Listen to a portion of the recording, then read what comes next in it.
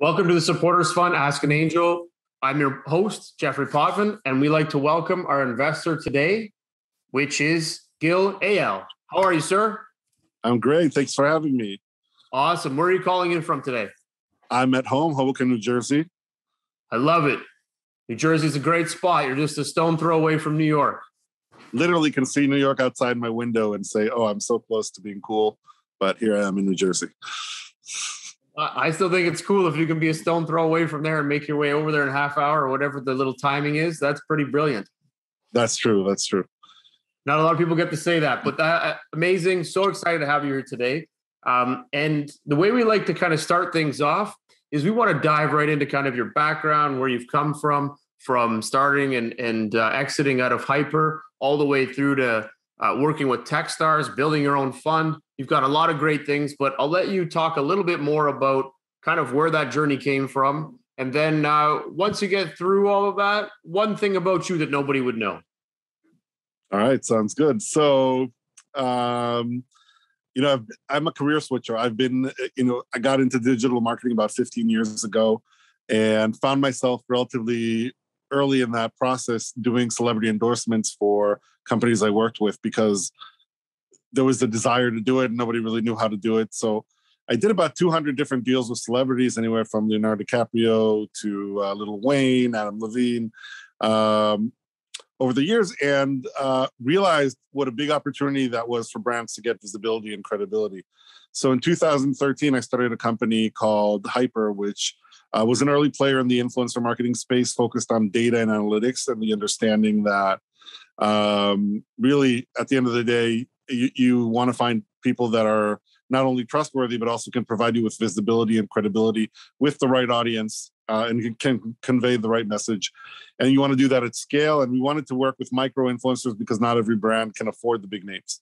Um, so I ran that company for about eight years, sold it about a year ago, and I partnered with a guy named Drederick Irving and with a guy named Talani. Drederick's son plays in the NBA, and has a, a long uh, history of working with celebrities. And we started Star Fund, which basically invests in uh, consumer-focused startups that can benefit from the involvement of a celebrity uh, that will generate uh, both visibility and credibility for their product. So the ideal investment for us is something where people are literally going to say, this can't be true. I can't believe there's a product like this. And they need somebody like a celebrity to show them that it works.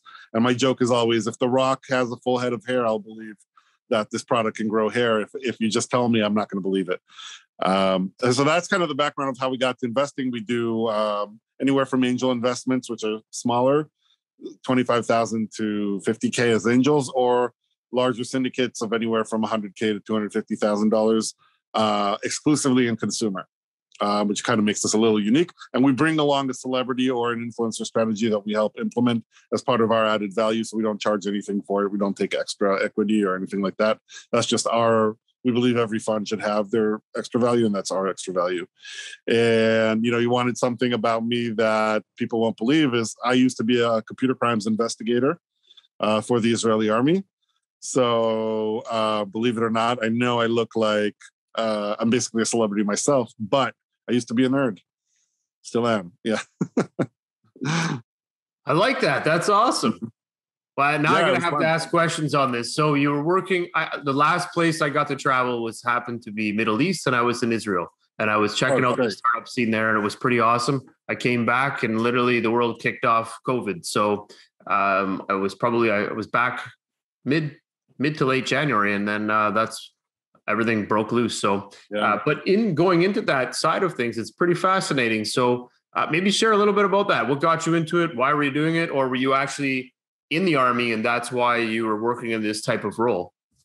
Yeah. So, you know, I was, I, I had grown up in the US, um, came back to Israel. You get drafted when you turn 18 um, and they they don't really ask you or they ask you but they don't really care what you say when they when they ask you what you want to do and i ended up being uh, you know they, they were looking for people who had computer experience i was like a little growth hacker a little less growth more hacking when i was younger um, and um, i happened to have some knowledge so i got into this unit that they were starting this is back in 1995 so it's not you, you might be imagining like the you know the net with Sandra Bullock or something like that. It was a lot less sophisticated than that.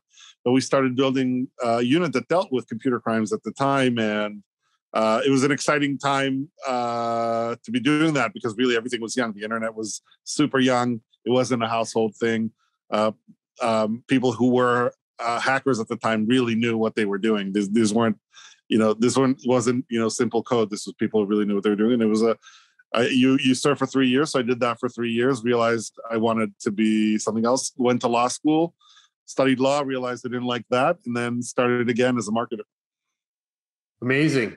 And I have to ask you because this is a curiosity of mine. So when I think back of 1995, when I was hacking away and doing things and learning how to get in phishing, getting in backdoors, doing all that type of stuff in systems just to learn, uh, I found it exciting because there was kind of no rules. And you like, I remember burning discs that took me like three days. Yeah. and I thought I was doing revolutionizing stuff here. I'm like, I have solved the world's problems. And I'm like, man, this is 72 hours to hack this. I'm like, this seems ridiculous. But at the same time, I'm like, servers set up, running everything. I'm like, this is cool. So then you think about today and everything is like, and I kind of think, man, I miss those days because my creativity today, if I could port that back to back then, my God, I probably would have been on fire. If you take kind of what you were doing, and that was one stage way higher, you were literally working on the fastest computers, doing the best things. Uh, how much of that kind of shifted and shaped the way you looked at the future because you had that role at such the infancy of, of the internet? I wish I could say we were that smart. You know, we all we did was we bought old computers and we built a gaming network in my basement. That was about as sophisticated as we get. And then instead of going out with girls on Friday night, we were uh, we played video games into the into the night, uh, multiplayer games. Didn't really come up with anything super creative, and I, I, you know, I never thought of myself as a startup guy or an innovator at that point. It came a lot later in life. Um, so I did. I didn't really invent anything. Uh, I was very involved with online communities and things like that, and uh, was very social on it. But um, it took a while for me to be to think about myself as somebody who could actually create something people want to use. Again, it's interesting that you say that, and it was very similar. We used we ran a lot of LAN games, so we uh, mm-hmm. and again, funny story, but we would have a whole bunch of people would come over and we would have speaker systems so they could all plug the speaker system in so that we could yell at each other through the speakers. Who knew that one day that would get built into your actual uh, PS completely four and everything, right? Where you got headsets and you're working. We were doing it through amplified speakers so that we could get the real experience of yelling at each other. But it was all LAN because you know buddies yeah. wise. Uh, we yeah, ex- when we played, you could hear each other. You didn't need the speakers. Um, oh, we were layered all about people looking at your screen. We were, we were like covering our screen. We are like, don't, don't, don't look.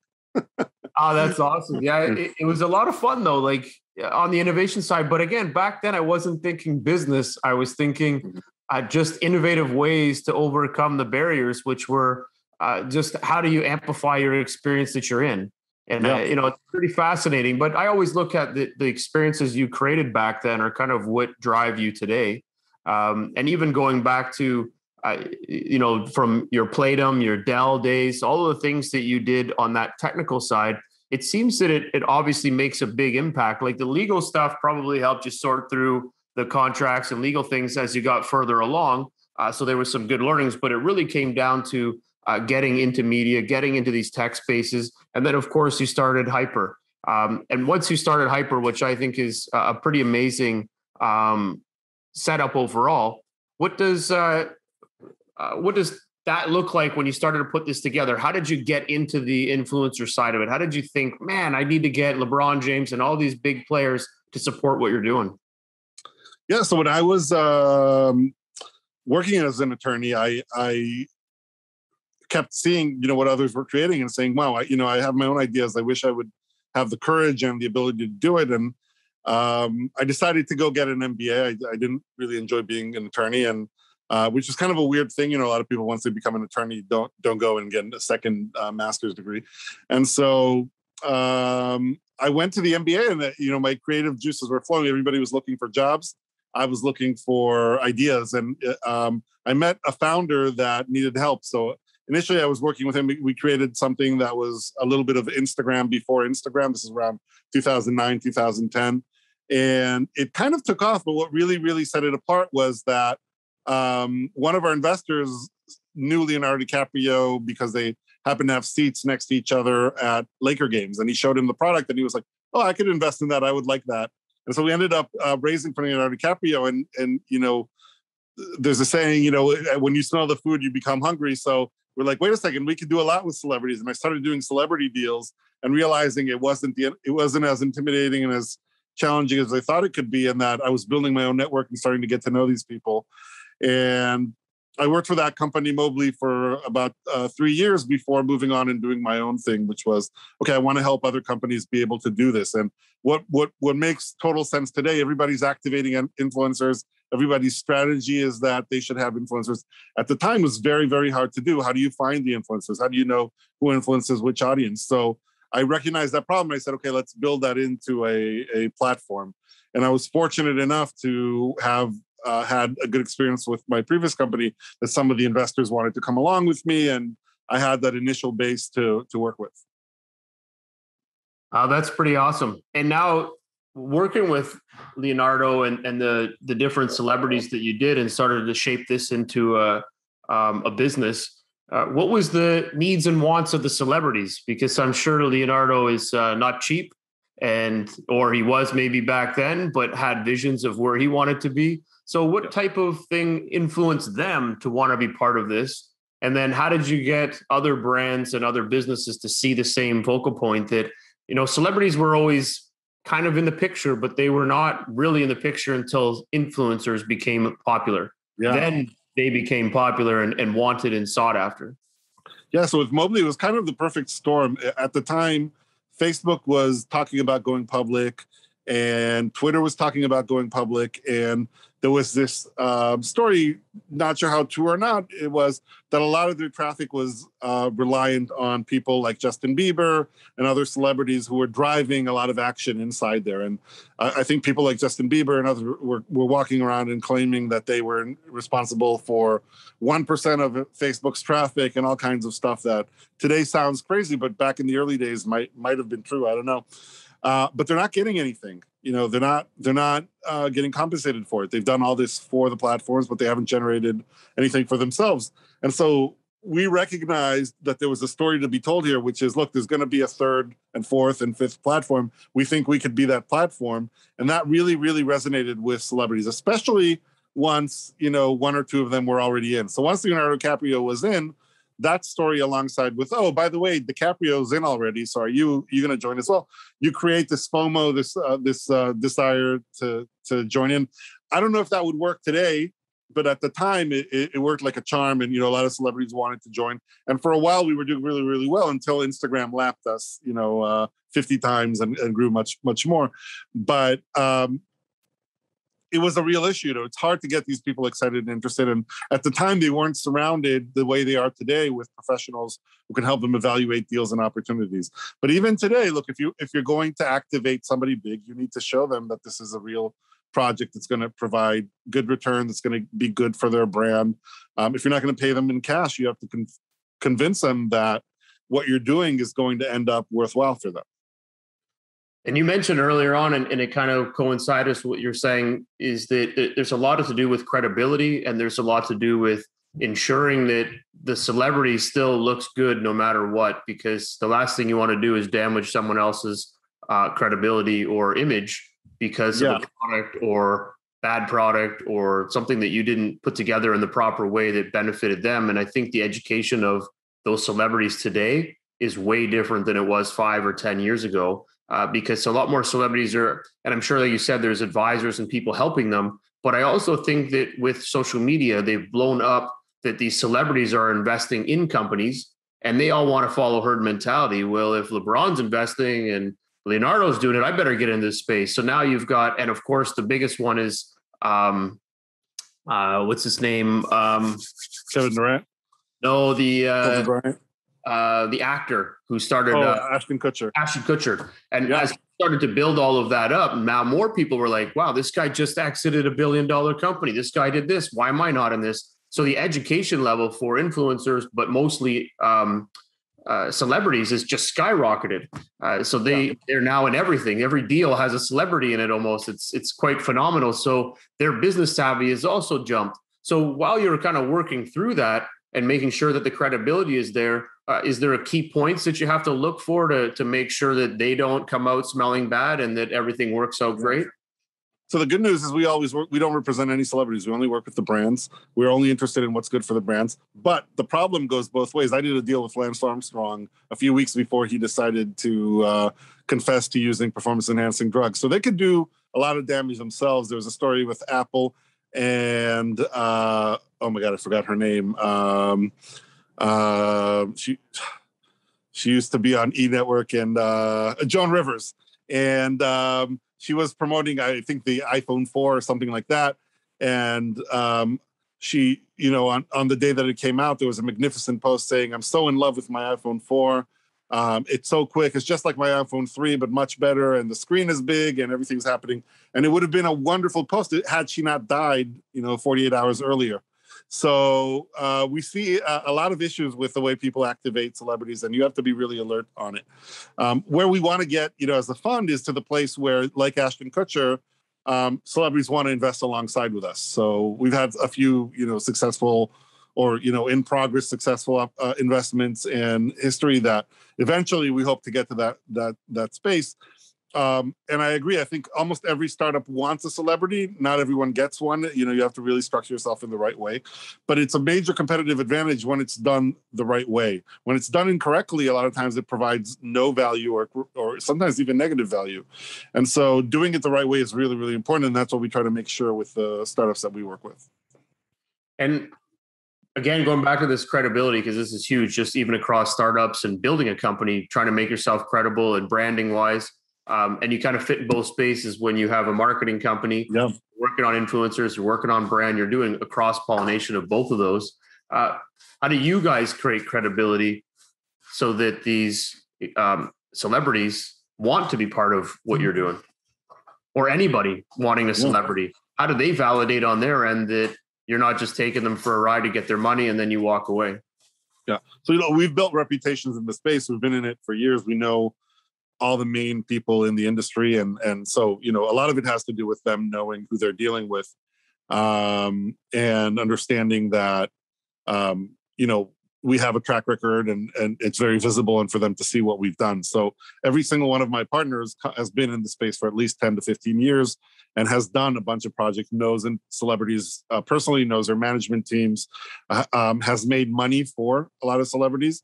So that uh, allows us to bridge that gap. If a startup wants to come in and meet with these celebrities, a lot of times they won't get the opportunity to meet with them, but we're able to bridge that and say, no, no, look, I looked at the startup. You really want to take a look.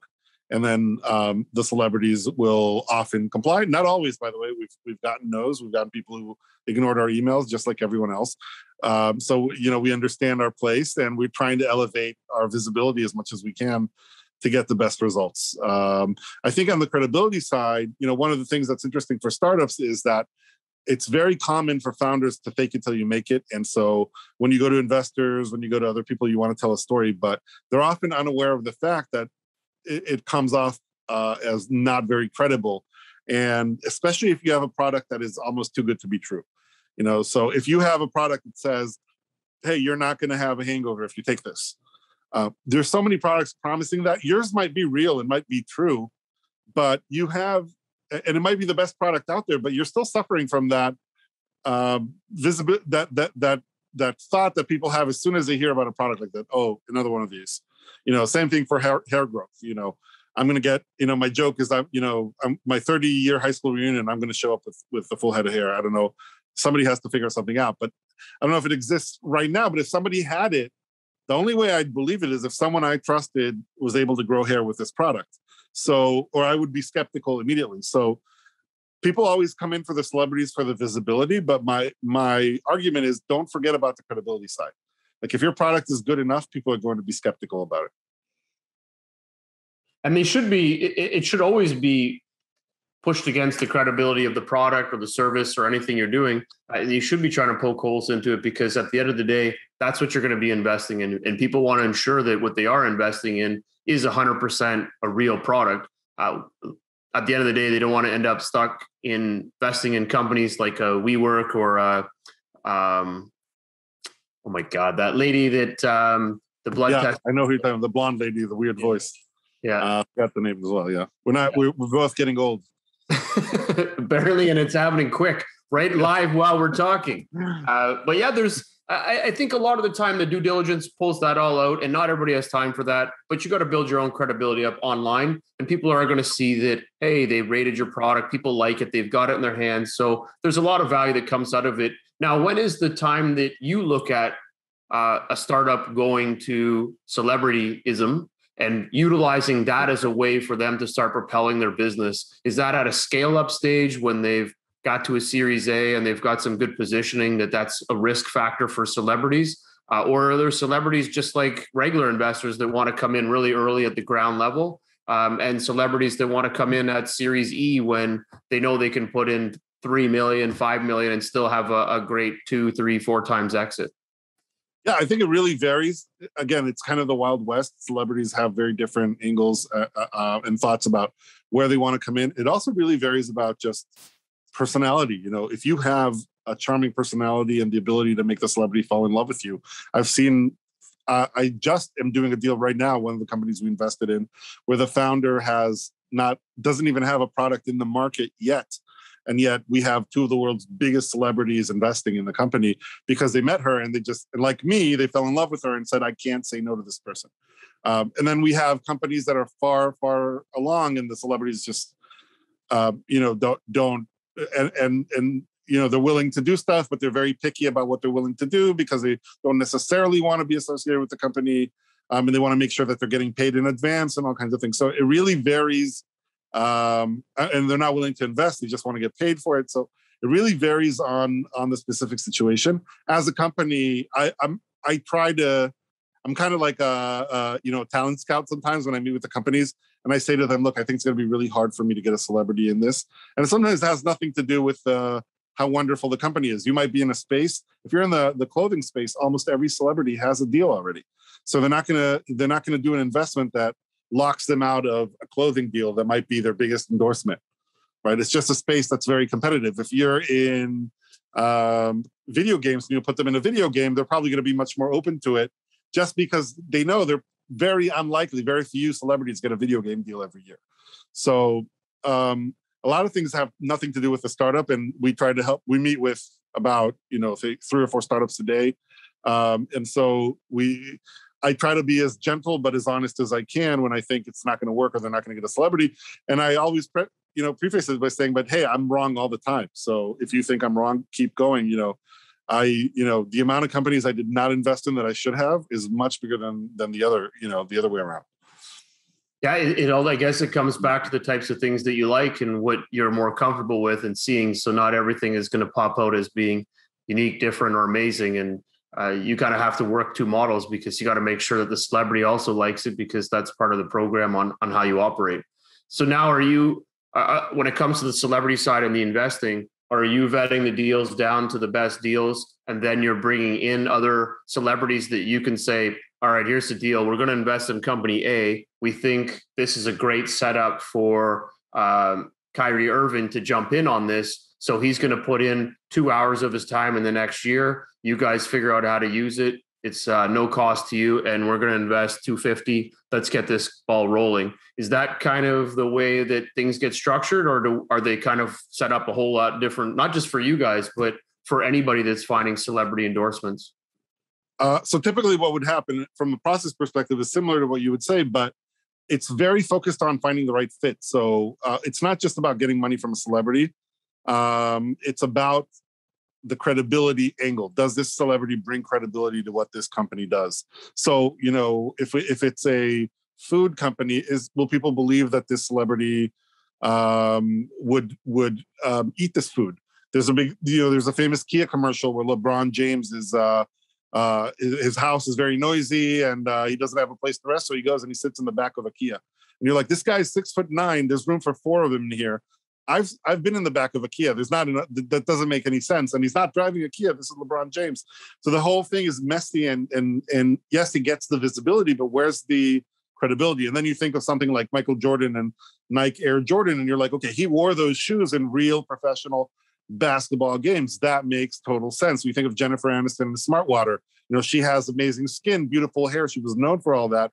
And and smart water people will believe that, or potentially will believe that that that's part of the reason why she looks so great. And so uh, you really want to make sure you find that right match before anything. So a lot of times I'll just say to a company, I love what you're doing, but I just don't have a celebrity in my network that's a good fit.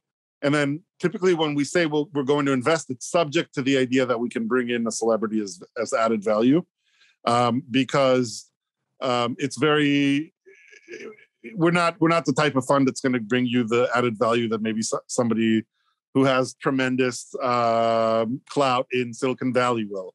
If we can't bring you the celebrity or we can't bring you a really, really powerful influencer strategy, um, like we just did with with one of our companies that launched in um, uh, it's a teenage skincare called Bubble, and it just launched in uh, 4,000 WalMarts. But the way we got there was through influencer marketing that got the attention of the Walmart um, executives, and um, it's an amazing, amazing company.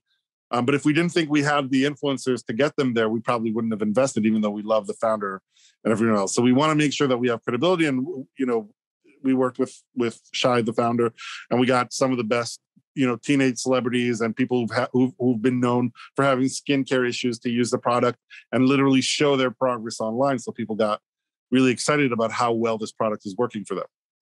So it's a really uh, strong matching program uh, that helps not only helps your investment but it helps that company actually get way more exposure. Can you allocate a number that celebrity bringing a celebrity on board can boost uh, revenues if it's the right fit by 20 to 40 percent? Like is there something like that way way way more than that.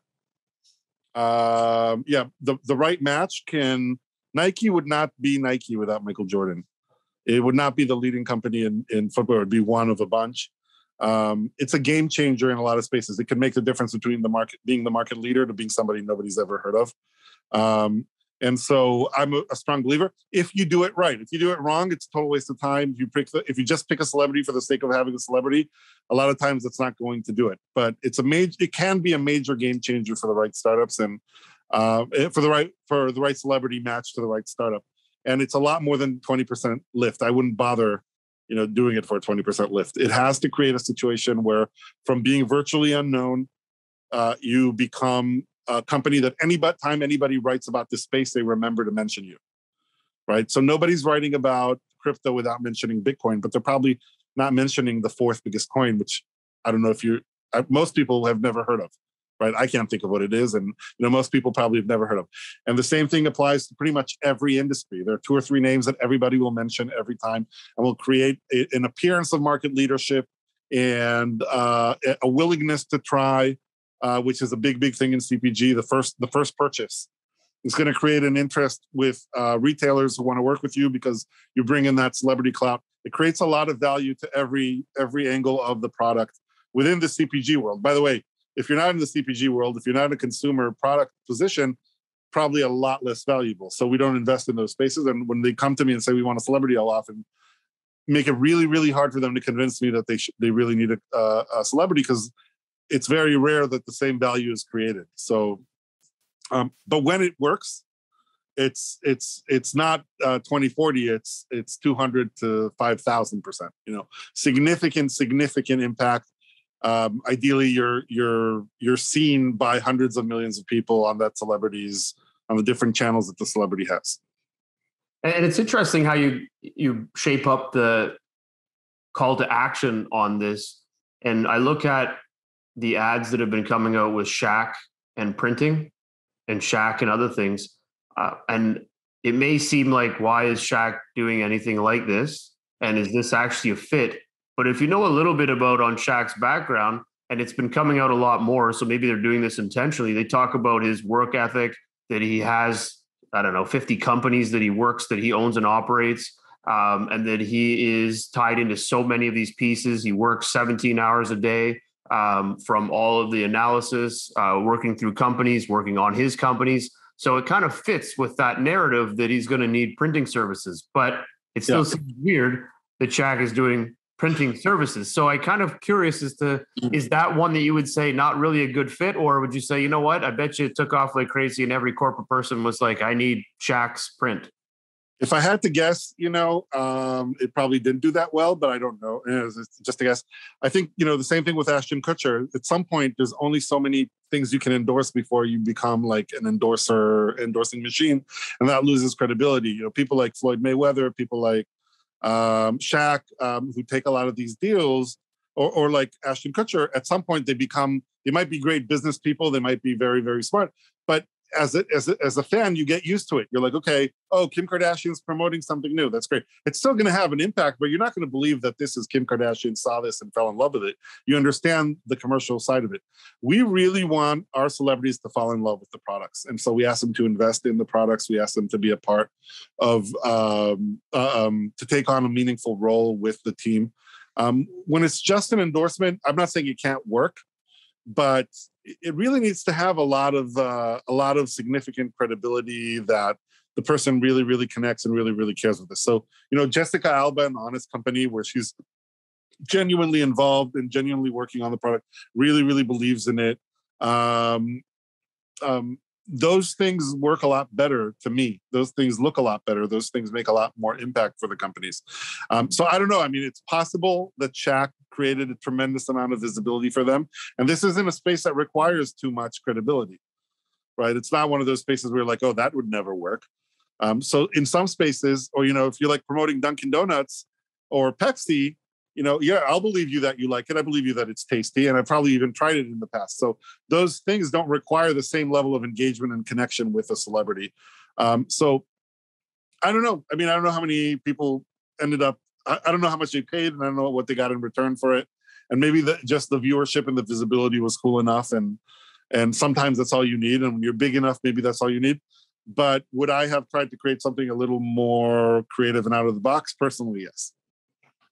No, I, I agree with that, and and I like to the point you made about Jessica Alba. I think her persona and how she carries herself, being um, part of the Honest Company, she kind of built into it. She was, um, I think, she owns like ten percent of the company, so there was a difference of her coming in as just a celebrity on the side and helping promote it, she actually went in on the company because she felt that it fit so well with her persona. She needed to be a larger portion of that. So I think that also makes a big difference, but it also speaks huge to the founders and and them seeing that there was that great opportunity too.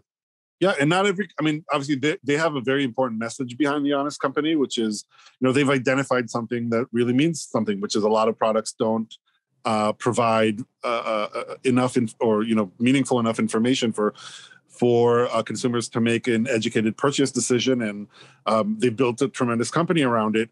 And that really, really played well to her personality and to her capability. Um, not every celebrity could fill up that role. You know, um, I don't want to name names. There are plenty of people that you wouldn't feel are as trustworthy or as likely. And even if we take a company like, say, Goop and Gwyneth Paltrow, which is is much less about you know honesty and creating it's more about a cool factor and like um, living your life like Gwyneth, and that's fine. But you know, if you replace the two, they do very, very poorly. I don't think Jessica Alba could lead Goop, and I don't think uh, Gwyneth Paltrow could lead The Honest Company. And you know, if you feel differently, then we probably have a different. Anybody who feels differently probably has a different perspective than I, than I do about the role of celebrities being more than just visibility. Well, I think Jessica Alba could 100% run Goop she just changed it into an honest goop company. Yeah, which would kill it. you, never know, but she could do it. But I don't know if it could do it the other way because you're trying to right. say someone can now become honest or whatever. Right. I'm not, not honest, but you would have to then transition someone into that space where it's easier to transfer in and rebuild something around your staple of being good. Yeah. So uh, I think that would be easier than the reverse. So, but um, I, I, think that that makes a lot of sense. Now, on the micro influencer side, um, influencers come in all size and dimensions. So they're coming in at a thousand fans, 200 fans, or I don't know, 30 million fans. Like it's pretty crazy on how large the spectrum is and the the view and how far that they can push and pull on on product and services.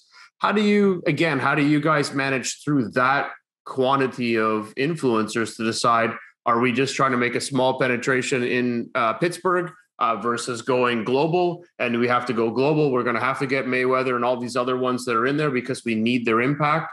Is that something you and your platforms are and your uh, fund or you're reusing your old platform that you sold yeah and you're like, this is how we got to do this as part of our strategy. So this is a great direction since I already built the company. I know how it works. Is that all? It's, a, it's a little bit of both. I mean, I have a lot of experience. Uh, you know, HYPR's done over 10,000 uh, uh, micro influencer activations. So we have a lot of experience. We know a lot of the managers. We know a lot of the micro influencers. What we do is we, we really look at the company and we say, first, if we can't find a celebrity that we're really, really excited about because they match what this company is doing, then maybe that's just not the way to go. And we'll build a strategy that's built around micro influencers. Generally speaking, we do both anyways. Like we, we don't just do a big celebrity. We'll always surround him with a few hundred smaller influencers to amplify, to get the story out there, to get ahead of any bad news that we get. You know, they're the first people on the front line to respond to it.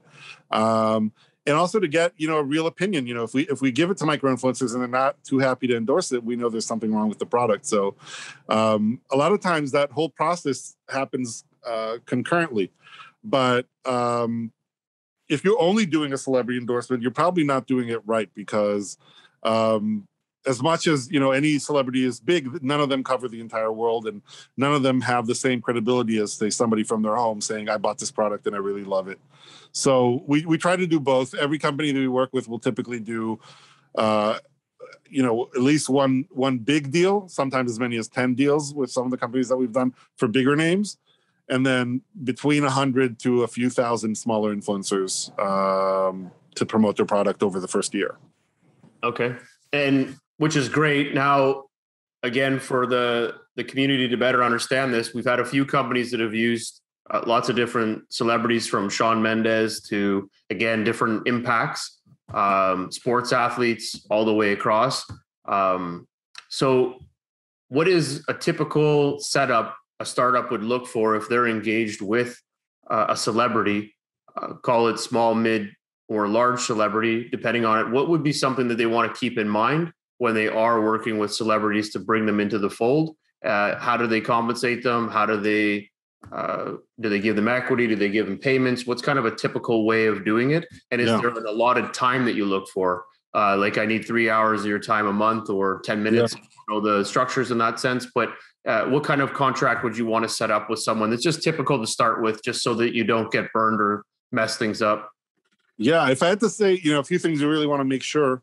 One is you want to make sure you're working with somebody who really, really loves the company and that you get along. If you've never met the person and you're just talking to their management team, odds are this is not going to work out. You know, so they really need to be excited. I don't. I'm not a big believer in give me three hours. It's more about, you know, let's let's build this deal so that you're really motivated to be a part of the company, um, and and push it, and that you really really believe in what we're doing. And so the structure of the deal tends to be to have a few components. One is it's a vesting deal over time. So you, the celebrity might get a large chunk or a certain chunk up front, but if the deal doesn't go well, you can you can stop at some point and and kind of cut it short.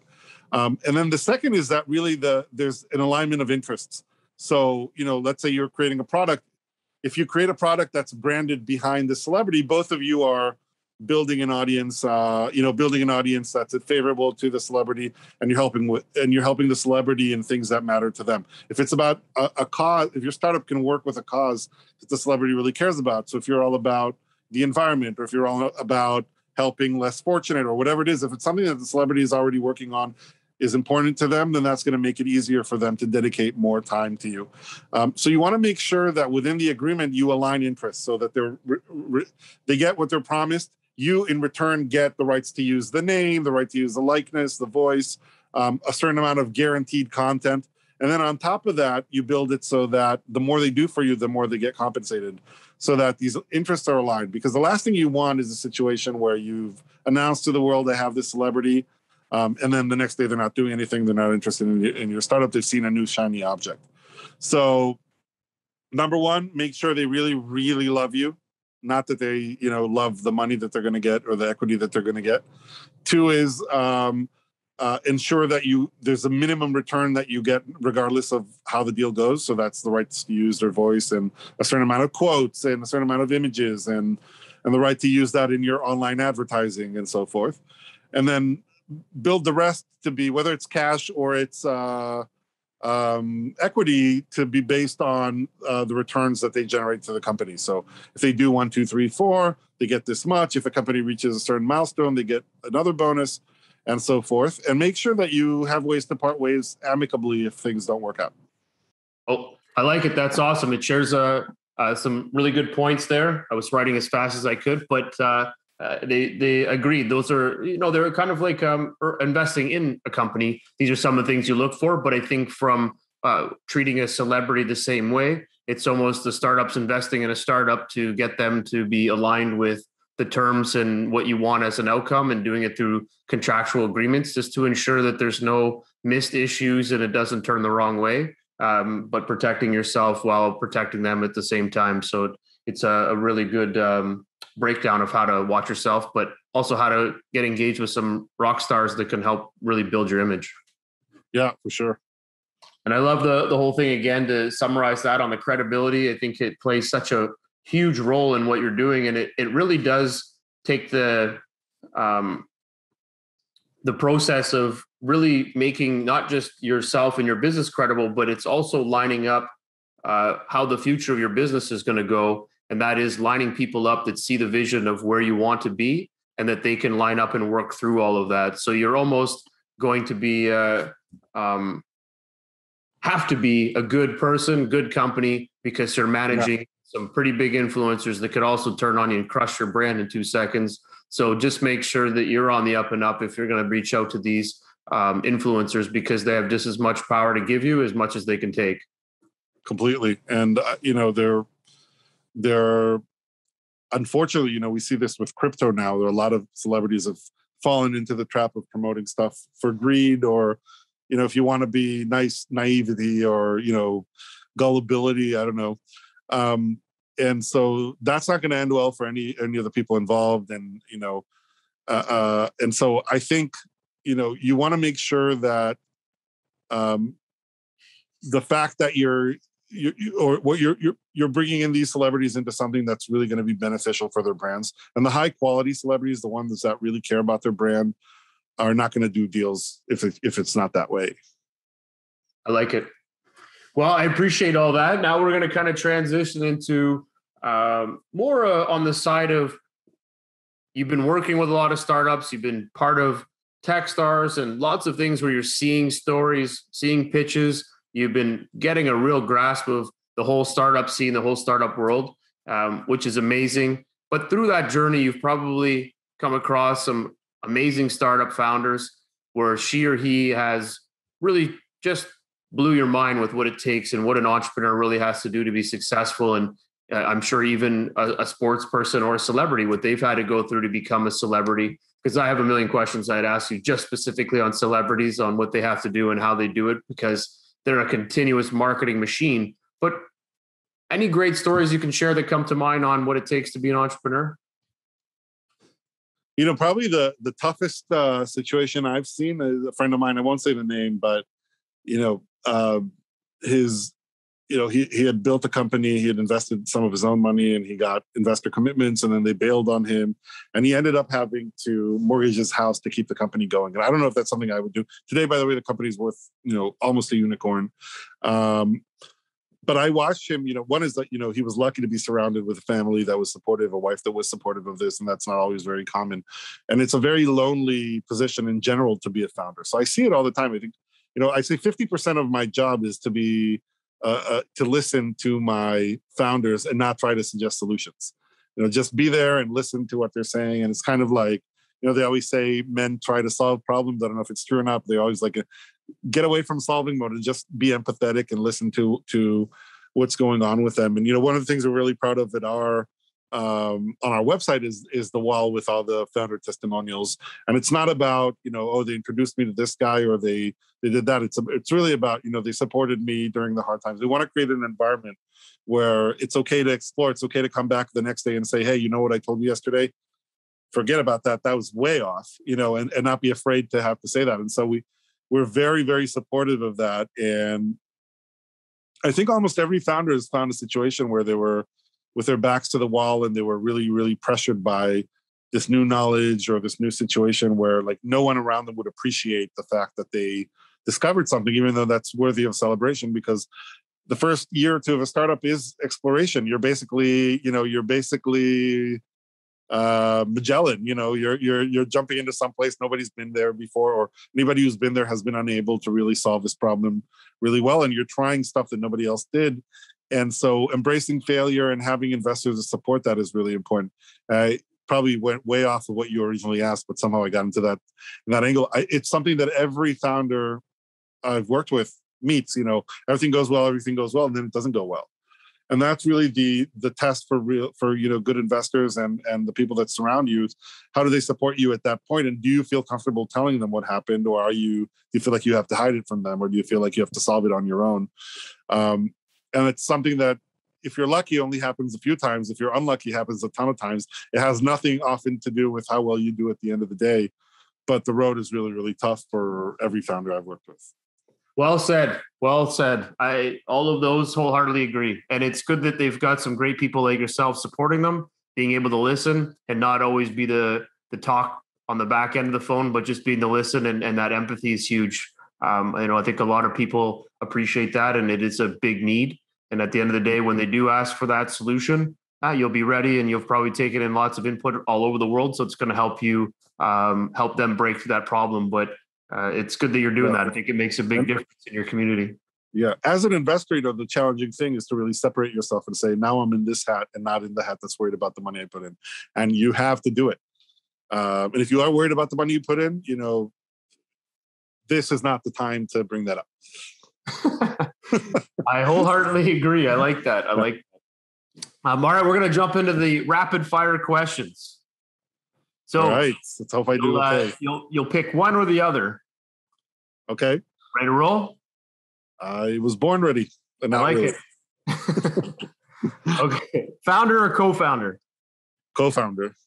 Unicorn or four-year, ten times exit? Unicorn.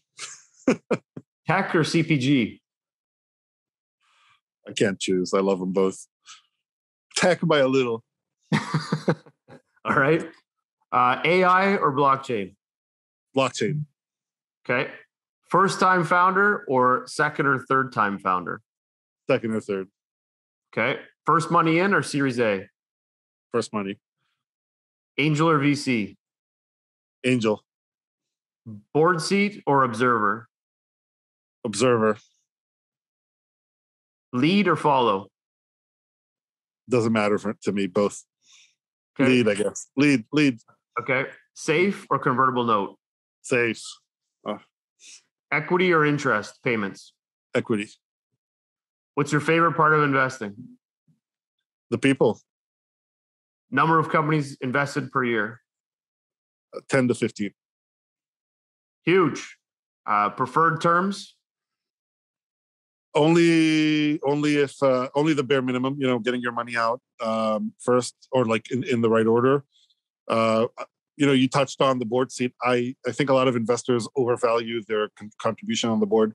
You're spending a very small amount of time with the company. You either believe in the, the the the, founder or you don't. And so, observer, I think, is is you know something that we we we don't even ask for that sometimes because we we say our relationship is one where we're going to see it anyways. Um, but as far as preferred terms, really just um, the ability to maintain your position and the ability to get your money out when when in the order the money comes in because it's a tangible investment. You need to give your investors their money back at least, um, but really rarely anything else. Okay. Uh, verticals of focus? CPG, anything consumer, um, or really if you can show me that a celebrity would make a big difference for your business. Um, so it tends to be consumer, it tends to be CPG, um, but it could be You've definitely seen apps and tech that we've done, and then um, rarely it can be it can be a fit for something that's not in consumer, but it can happen. Okay. Uh, one thing that will help. Okay, we'll make it two. Two mm-hmm. things that will help a startup stand out from the crowd. One is a founder that is a really unique person, a unique personality, somebody that's really credible and uh, meaningful. And two is a, a, marketing hook. You know, there's a story about a company called Brayola, which I, I love. And what they did, you know, they, it's a company that focused on the idea that women don't like to go into stores and try out bras way before COVID, where nobody was going to stores anyways, right? But um, what they did was really interesting. They had women submit photos of them without their head of themselves in a bra, and then they had an expert or like an AI, I don't know what it was, tell them what their bra size and fit was for every brand because every brand has their own thing. So it's a really, really smart thing, but it also got a ton of attention, and I thought it was really, really smart. Um, so if you can, if you can come up with a clever hook, that's really, really nice. I like like it. Okay, personal side. Book or movie? Movie. Superman or Batman? Superman. But Spider Man, really. Well, we're not in a Spider Man yet. we're going to go with Superman. I like that. All right. Pizza Pop or ice cream bar? I like Spider Man too. So, uh, Pizza Pop or ice cream bar? Ice cream bar. Uh, five minutes with Bezos or Oprah? Uh, Bezos. I was gonna wait for you to say, "Oh, I know Bezos." Yeah, he's a good. Guy. I don't. I don't. Uh, all right, Arsenal or Manchester United? Manchester United. Boo, boo. uh, but, not, but not really. I mean, Liverpool, really. Ah, okay. All right. All right. I like. I'm choosing from the two options you gave me. Uh, that's true, but yeah. I still try to find Arsenal fans, so it's okay. Uh, bike or rollerblade? Rollerblade. Big Mac or chicken McNuggets? McNuggets. oh my god, I love McNuggets. I gotta tell a quick story just because it was funny. I uh, hadn't had a Big Mac forever, so I went to the. I went two days ago. I went to McDonald's, ordered a Big Mac, started driving away. I got a quarter pounder with cheese. I was so pissed because I was like, I waited oh forever, oh and because I asked this question all the time, I had a craving. I better go eat this Big Mac and it was a quarter pounder with cheese. I'm like, oh, I still haven't even hit the craving yet. I'm like, damn it. And the quarter pounder was terrible. So I was like, it's just not, it's not the same. I don't know what they do to those. Uh, yeah. But fortunately, there's probably a McDonald's within two miles of where you were, no matter where you were. Yeah, exactly. There's a blinking light behind my house. I can walk over there. But yeah. I agree. But it was just a funny story that after I'm asking this so many times that it just made me have to go do it. And then I yeah. So um, alarm clock or mobile phone? Mobile phone. Beer or wine? Haven't had alcohol in uh, 30 years. John, all right. That's okay. You can have an organic. I was not an alcoholic. I just uh, didn't. I had a liver issue. By the way, just in case. all right, all right. Uh, trophy or money?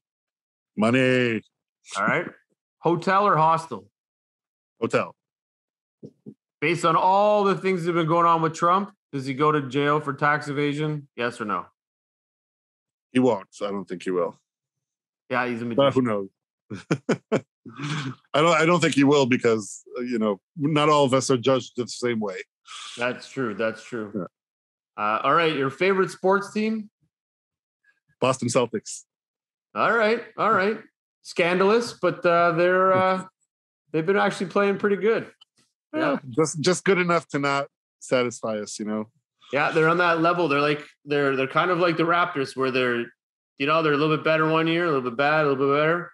The so, tweener, the tweeners. Yeah. They're, they're just not tall enough to play in the NBA. Now they're one slam dunk away from making it a little bit further, but they still have a pretty good team, especially yeah. this year, last year. So maybe right. next year, maybe next year we'll see. Yeah, yeah. Uh, favorite movie and character you would play? Back to the Future uh, and uh, Marty McFly. Oh, that's amazing! I haven't heard that one in ages. I'm gonna have to now watch that whole series again. It's the best series in history. It's, it's I'm dating myself, obviously, but yeah, yeah. No, it was back when when it was actually the future. Like now, when you now it's like, oh, that was like a few years ago. But yeah, yeah, we already passed it. yeah, we're gonna have to do another back to back to future, so make it like. Oh, I would love it. Twenty fifty. And generally, Michael J. Fox, I think, is a. Uh,